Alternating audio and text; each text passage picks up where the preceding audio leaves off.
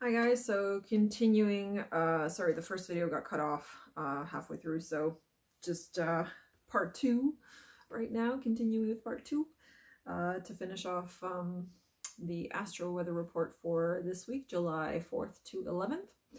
So where I left off in the last part was about processing emotions and if I can only process, you know, one little piece today, perhaps I can process another little piece of it tomorrow and just keep working on it day by day. And eventually I will get to an accumulation point where I have processed either most of it, much of it, or if not all of it, um, which obviously is the ideal when it comes to our own emotional baggage. So when I was talking about emotions and, and how emotions are affecting us and how cancer season is affecting us specifically uh, right now um, uh, in the first part of this video. So now I'm just going to finish uh, my notes here that I didn't get to in the first one. So another piece was about letting the emotions come forth. I did talk about it uh, briefly already. Um, so let what is hidden inside be revealed. So this week we're being challenged, so to speak, um, or asked by the universe to let go, let like let emotions truly come forth and let the truth come forth. It's like, can you speak from your heart? Can you allow feelings and emotions from your heart to start flowing through you instead of suppressing it and squeezing it down and inside, uh, forcing it to stay in there because there's a fear around releasing it or there's just a fear or a lack of acceptance within yourself when it comes to that truth, you know, the truth for everyone is different.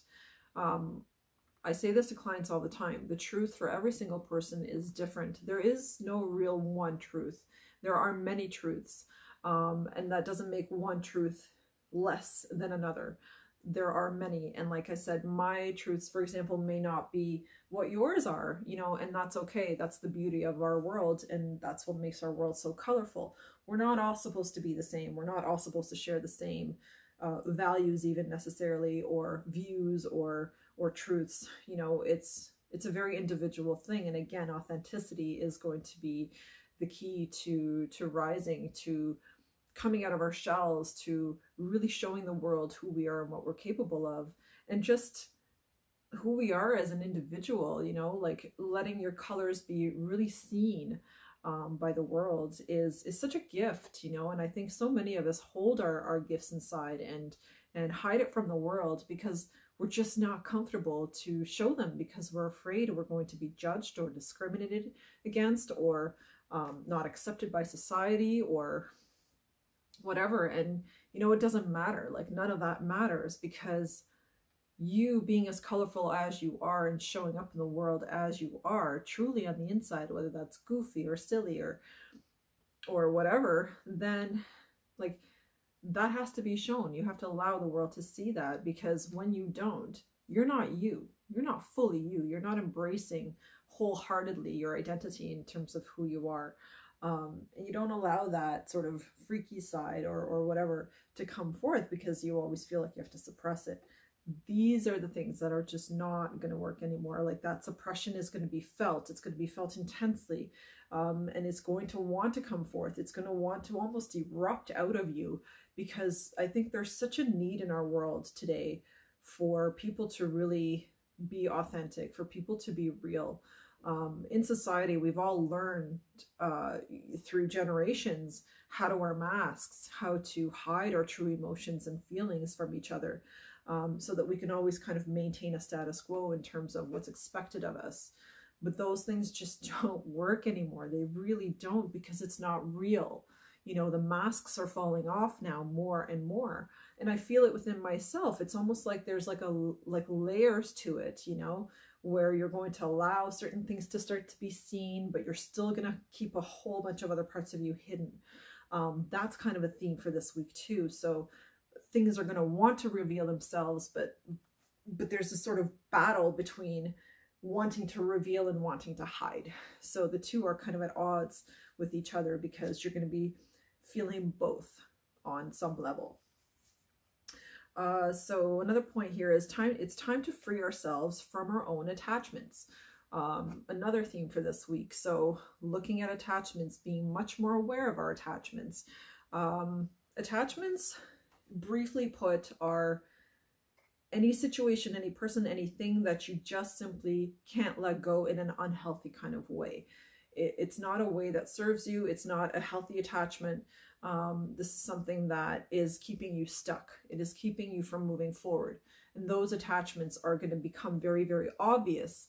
Uh, I think they're going to be not only through cancer season, but again, as the year progresses, those things are going to come forth more and more to be revealed uh, so that you can process, you can look at it, deal with it, um, and free yourself ultimately from it because that's that's what we want. That's what that's what the goal is. That's what the universe is trying all of, trying to get all of us to do and to understand is that it's time to free ourselves from attachments, from unhealthy things, you know, on all levels, all levels um, of our life. Uh, another point here is healing the past. So healing the past and looking at the past and and I mentioned trauma in the first part of this video um, and you know why trauma is so important to heal and how we can heal it and how how like you ultimately have to process it um, but healing the past and healing our roots I was finding root chakra and sacral chakra to be uh, quite unstable um, this week my sacral especially but uh, but both of them, like the first two chakras, lower chakras, were very unstable. And again, it was um, the instability of it was showing me how how those are areas in my life that I still need to tap into, how I still need to areas that I still need to look at and um, reveal what's hidden, reveal what has not come to the surface yet. Uh, so when it comes to root chakra, for example, that has to do with our roots, our ancestors, family, um, stability, groundedness, support, all of those things are in root chakra. So look at all of those things in your life. How supported do you feel? How supported, how, how well do you support yourself? Um, that's a huge one, a huge one. Uh, supporting ourselves now on much higher levels is going to be also extremely important. And I think we're going to continue to be guided towards that uh, as we approach like December to like the end of the year. Um, so really, really, really looking at um, everything that needs to heal ultimately and how do I support myself? Do I even support myself? Do I do anything extra or above and beyond what I have normally done, what I'm normally used to uh, in terms of what I do for myself? Am I doing anything extra? Have I changed anything up? Have I looked at my routines and my daily activities? Um, and have I observed, you know, where I'm where I have time but not using it to to the wisest to like to the best of my ability. Um, these are all all themes, all different things that that are coming up for us to look at uh, because it's incredible. I, I hear it from people all the time, all the time. Like, you know, yeah, I'd love to do that, but I don't have time. And it's like, are you sure? are you sure you don't have time? Because a lot of times we say we don't have time, but it's not true you will never have time for things. You have to make time for things, right? So if there's something that you want to accomplish in life, you're going to have to carve some time out and put that time aside. That's all I'm doing. That's two hours of focused work. I'm not dealing with anything else in those two hours, and that's it. Like maybe those two hours are my time. And that's full on self care. And, and I'm not doing anything. I'm not answering my phone. I'm not on the internet. I'm just doing self care maybe for those two hours or whatever. Like, in however however it fits into your life. Um, yeah, family issues we talked about, ancestral, uh, connecting with ancestors, also something I, it was like random, like it, it felt random anyway. Nothing, of, course, in life is random, but uh, I just had this longing, this desire this week to really connect with my roots, my past, my history. I wanted to know uh, like there was this curiosity that came about within me regarding my grandparents who have been passed for many, many years since I was a child. Um, you know, my grandpa didn't even know uh, he died when I was very, very young. I think about two or three years old. So there was this, there was this sense in me this week of, um, and even last week and over the the weekend recently, that I, I have this desire to connect, to want to know. I don't know anything about actually my grandparents um, you know, what was their life like and, and what did they do? What did they enjoy? Um, I don't know. I just like, uh, there was this desire just to connect, to understand them more, like understand my roots and my past. Like, where am I coming from? Who am I coming from? Who are the people that have been before me? Who's my lineage?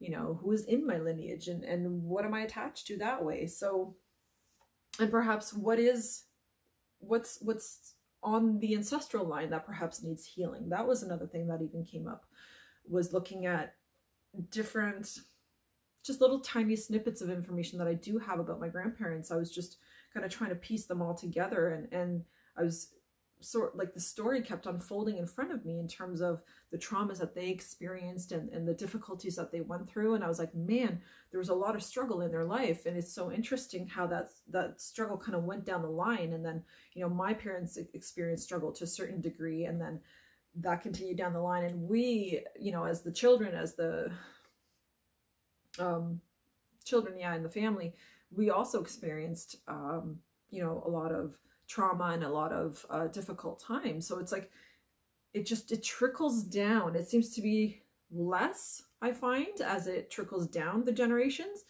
Um, but trauma doesn't seem to go away. It's it has to be healed and it has to be healed on like an ancestral level. Uh, and there's really great rituals and different things that can be done to, to heal our ancestral lines, to connect to them, to have a desire to release whatever past karmic stuff they perhaps accumulated and we are now carrying the burden of. Because that's the other thing is you can't forget that the family that you come from is is the lineage. It's the like you're carrying everything from them.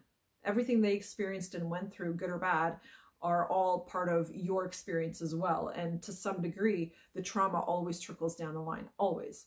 So I find to to stop that, to end that cycle, we must look at uh, our roots and our ancestors and must connect to them. We must learn and understand about their life if we can, if it's possible, either through family or people that knew them, uh, or through searching online if you can find information that way.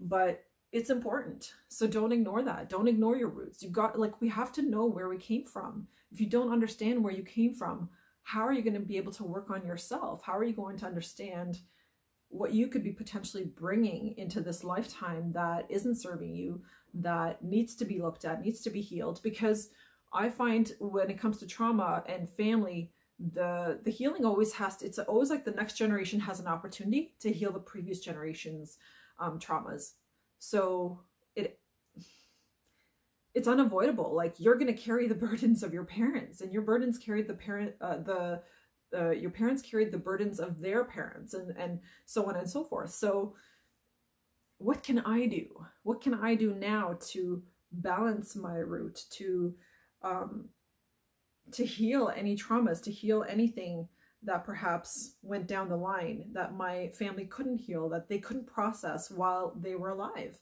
you know, and perhaps I can, perhaps I can do something about it and, and heal it, but I got to look at it. I got to know what it's all about first, right? That's, that's step one. So do some research into your family history this weekend and just do a little digging and see what you can find, like I said, through family or whoever to, uh, to heal that. Um, okay, another piece I wanted to talk about was illness. So, um, because another theme that I'm noticing, and this is something that's also being highlighted in terms of awareness, like we need to be more aware of, is illness. Illness persists until we heal the soul. Um, so physical illness, again, working with clients, I've noticed that all physical illness stems from some kind of an emotional issue. Um, a burden that the soul is carrying, uh, a trauma or something negative, something dark uh, within. And until you discover that darkness, until you reveal that shadow within, until you find the hurt parts of, of you within, again, you're not going to be able to heal it. So you're going to have to go looking for it. It's, it's not always obvious. It's not always in our face. Sometimes it takes real dedication to sit with yourself and to be able to calm the mind enough and quiet the mind enough to just allow things to start emerging to allow your intuition to start emerging and speaking to you where you can actually hear it and you're going to get feelings and and you're going to hear words or thoughts or different things are, are going to start flowing through you that will have um, very specific information about what is going on within you and what needs healing, uh, what needs addressing.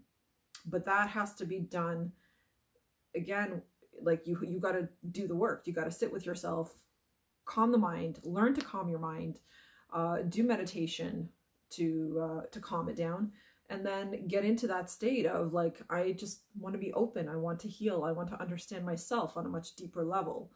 Um, I really think that the purpose and, and the reason why we are here on earth is to learn about ourselves. It's to discover who we are. It's to discover our full potential and what we are capable of um, in any given moment, really.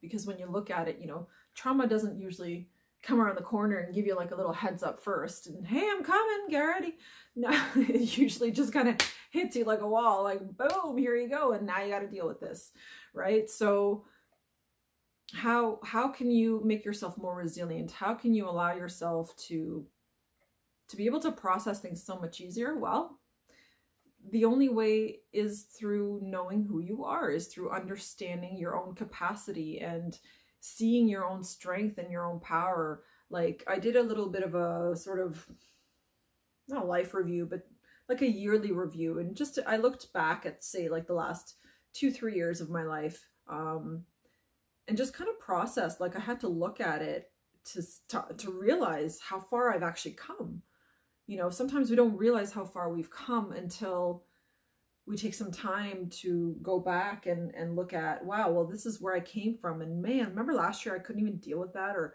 i, I didn't know how to handle that situation. And like now pff, got it. Nailed it. Right? So it's important to do that this week too is make sure you look at your accomplishments. Look at how far you've come. Um, look at how much you've grown on the inside because this isn't just about materially how far i've come or how much i've been able to accomplish um, or generate in terms of you know money. It, it's not about that. It's actually soul work. So it's the inner work. How far have i come within myself?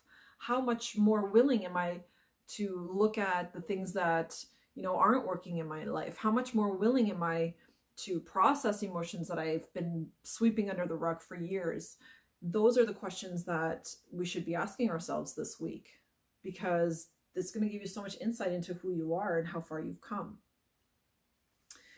Uh, and just another thing about illness anything that you are struggling with right now, any physical ailment or illness or disease or anything that you're you're dealing with at this moment, even that, it's like we must tune in, tune in and ask our souls what within me is hurting this much my body needed to create disease so that I would pay attention.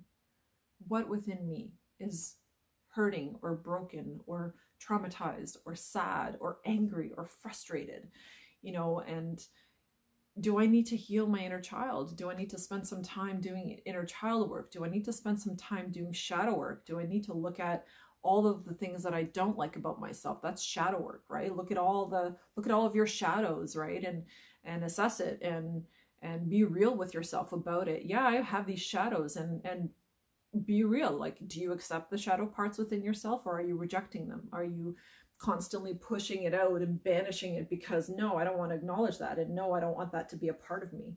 Well, guess what? You're human. We're all human. We all have shadow.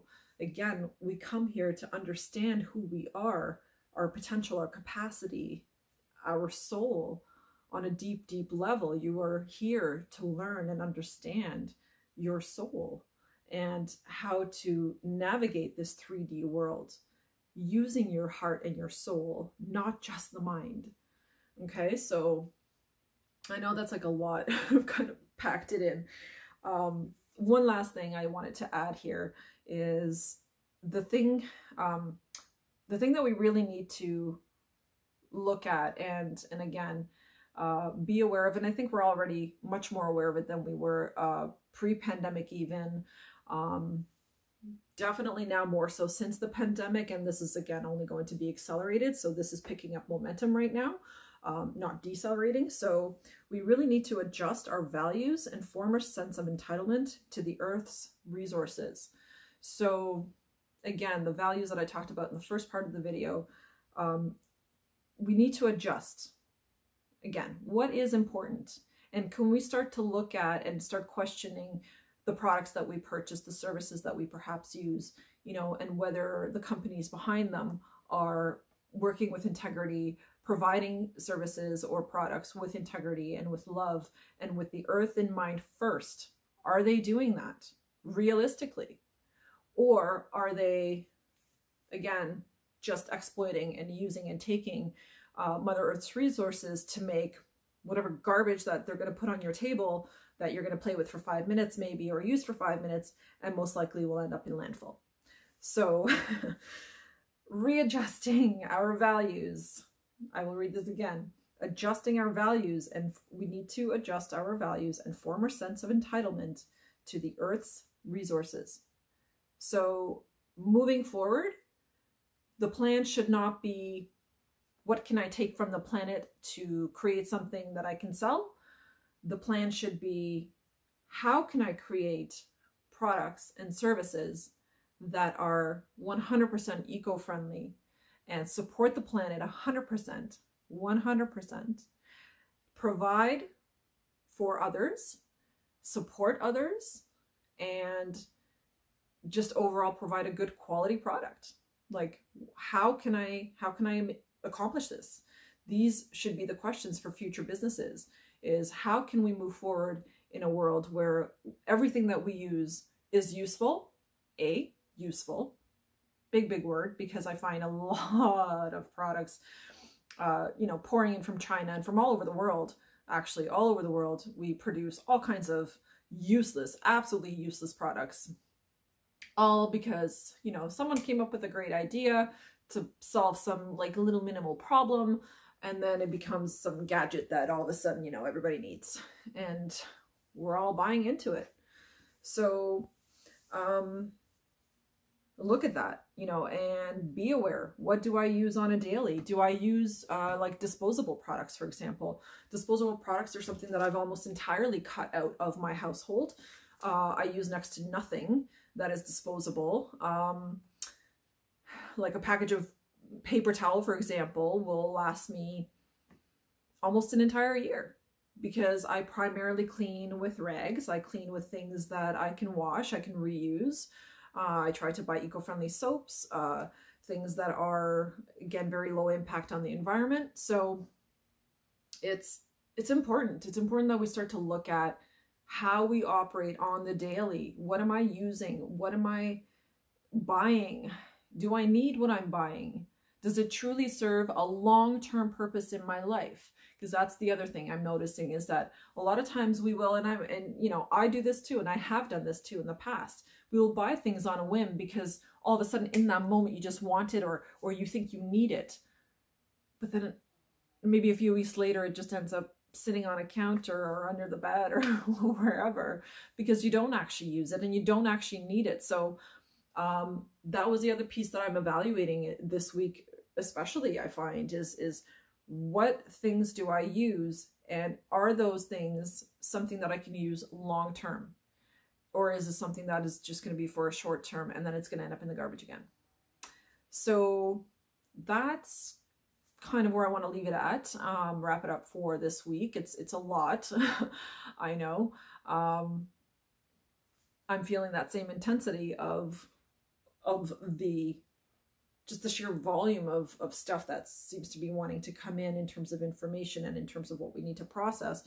Like there's a lot happening. There's a lot happening. So for closing, I just want to leave you with with a thought like be easy on yourself. Don't don't be hard on yourself this week. And and you know, even through through the summer months and and as we head into the rest of this year, really just try to slow down more, try to be more aware of what you buy, what you consume, whether those are long-term, short-term things, um, and try to have an awareness about your feelings and really, again, especially for cancer season, really allow the feelings to come forth. I think it's so, so time that we get back in touch with our emotional selves um, because you know, it's very easy in society to get caught up with always putting on the mask and pretending we're okay and because we think that is what is expected of us. um, listen, I don't expect you to put on the mask and I don't expect you to be Superman either. So it, it's irrelevant. Don't worry about that. Just be you, do you. If you're feeling vulnerable, if you're feeling down, then let yourself feel those feelings. Allow yourself to cry, allow yourself to release. If you have a hard time with those things, then, you know, reach out for help. Um, I offer counseling, I offer uh, energy healing work for people to help with processing these emotions and help with releasing them. Um, but you know, like whatever, like whatever you can find in your area, definitely try to connect with someone if you feel like it's it's extremely difficult for you to do this work on your own. Working on ourselves, being in touch with our feelings, sitting with them is not easy. And I know that because I've done it multiple times and it is not easy to be really 100% honest with myself about what I'm feeling or or just where I'm at emotionally at this time. You know, that's not always easy. So be patient with yourself and be kind with yourself and don't rush this process. Healing can't be rushed. Just continue to stay aware aware, continue to stay present in the daily moment to moment life. Try not to allow the past to pull you back. Try not to go in that backward. Try not to project your past onto other people. Uh, be mindful of that too. And and that's it. Like just keep working on yourself. It will pay off. It does pay off. Even this much pays off. You know, whatever you're able to do in any given moment is always better than nothing. So I will leave you with that message. Have an awesome, wonderful week, guys. Really take care of yourselves and see you in the next one. Bye.